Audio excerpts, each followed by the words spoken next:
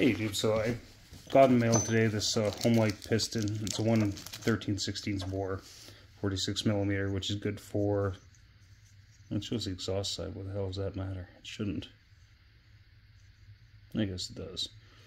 Uh, anyways, uh, yeah. So these are twenty dollars Canadian to my door.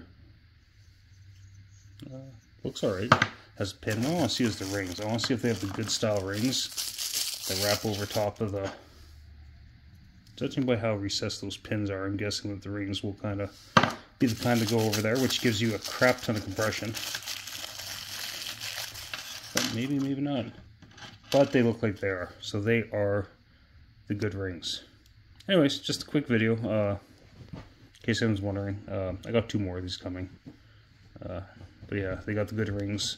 I had these in a bore, and when they're in the bore, they have probably about, uh, say like that, like 10 thousandths of an inch clearance.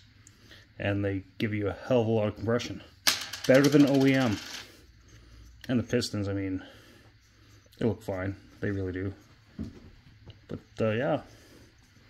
Got two more coming. It feels... I wish I had a little scale, because it actually feels a little on the heavy side. I wonder if I could... Oh, and that's why. So on an actual Homelite piston, that material does not go right to the top. But it's nothing, I can take quite a bit of that, out with a die grinder, so that's not really an issue. I just want to look at those other pistons, see if they're like that too. Huh, food for thought. Anyways, this came this came pretty quick actually, so. But yeah, anyways, it's a quick review for you guys. Anyways, bye.